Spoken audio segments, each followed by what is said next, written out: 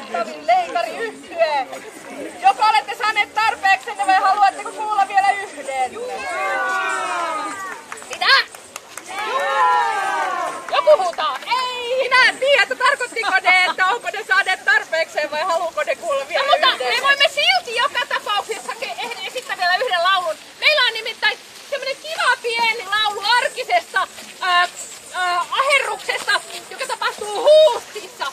Nimittäin kertoo pyllyn pyyhkimisestä tämä seuraava laulu. Ja oikeastaan tarkemmin sanottuna ää, sellaisesta täydellisestä pyllyn pyyhkimisestä, nimittäin että pyyhkimestä.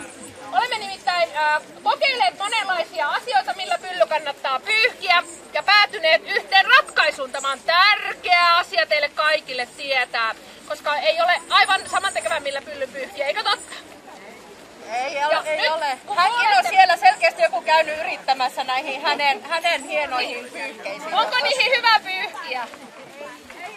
Okei, mutta saattaa meidän, meidän tässä seuraavassa laulussa nimittäin luettelemme, mihin kaikkeen olemme kokeilleet pyllyä pyyhkiä, niin teidän ei kannata sitten pyyhkiä niihin samoihin asioihin.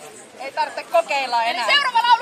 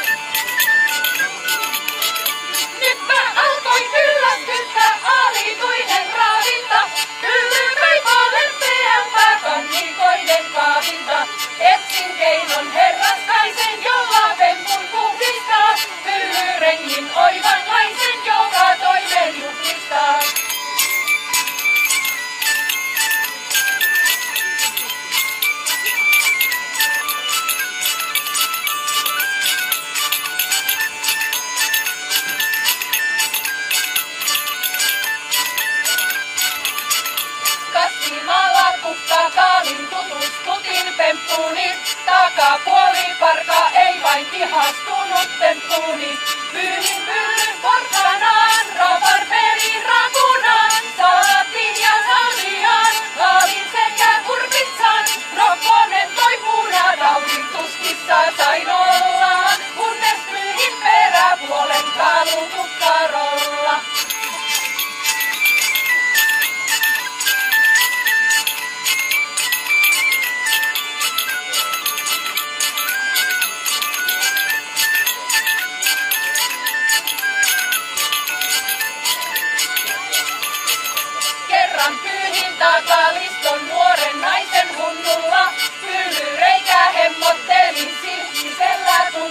反対